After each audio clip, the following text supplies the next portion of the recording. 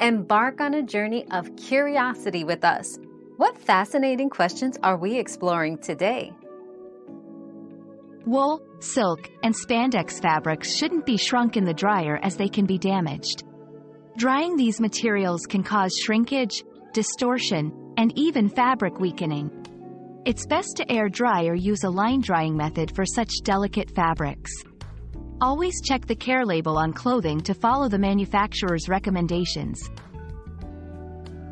Our quest for knowledge never ends. Thanks for being part of today's discovery. Subscribe, like, and share to join us on the next one.